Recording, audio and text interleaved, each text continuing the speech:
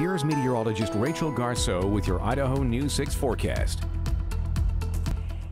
Good morning, everyone. Happy Wednesday to you. Happy back to school week. We are celebrating all week long here on Good Morning Idaho. So today I am here in Caldwell. Behind me is Lincoln Elementary, which soon will be busy, full of kids and teachers and drop offs and pickups later as Caldwell heads back to school today. If you are heading out the door this morning, be it to school or work or just for that morning walk or jog around the block, be ready for a very crisp start. For the first time in a while, there is a chill in the air.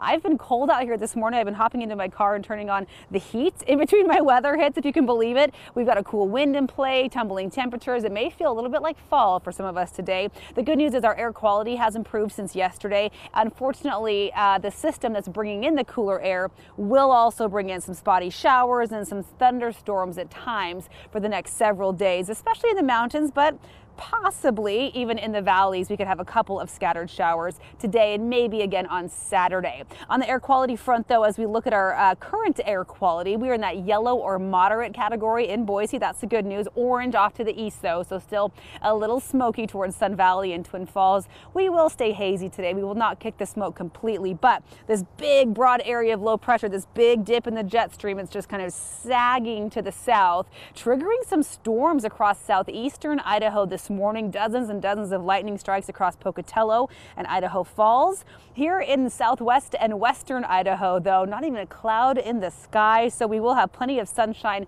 over top of the smoke at the surface and the wind will remain brisk. That's the big headline for today, the wind and the dropping temperatures. Rain and storm chances again favoring the mountains. Most of these chances here Wednesday today and Saturday, probably our best bet for seeing some of those hit or miss showers and storms. But Thursday and Friday, each afternoon there, as we look at McCall's extended forecast, for example, uh, there is a decent chance that we could have a little pop-up shower, maybe a rumble of thunder, a quick lightning strike that fizzles out quickly. That's each and every afternoon through Saturday. Temperatures kind of all over the place in the mountains, right? Mid 60s today, into the 70s Thursday, Friday, back down into the 60s on Saturday. And then Sunday, I think we kick off a nice, dry, more settled weather pattern with comfortable temperatures coming our way, especially into next week. Today, if you've been too hot, it's been too much heat for too long, hey, enjoy today. Mid to upper 70s in the Treasure Valley. Blustery winds at times, that will keep a bit of a chill in the air today. But if you've been itching maybe to get out your favorite sweater or hoodie this morning, I say go for it as it is perfect out here for it right now. Cooler and hazy with those spotty showers possible up in the mountains. More likely we won't get hit with those storms across the area, but it is possible, especially east central mountains today and again on Saturday. So just to plan your weekend, that's why I'm talking about Saturday so much.